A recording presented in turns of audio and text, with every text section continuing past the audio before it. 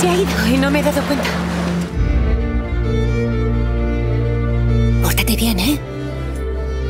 No he podido dejar de pensar en ti. Nunca me había sentido tan bien con nadie.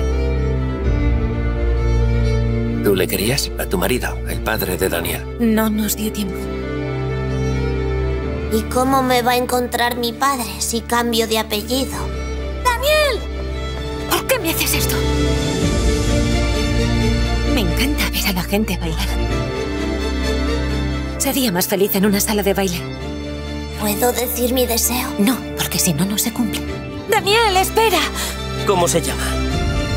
Tu único padre es François. Fue él quien te crió. ¿Cómo se llama? No te conozco. Todo esto es verdad, lo nuestro. Solo sé que no podría vivir sin ti.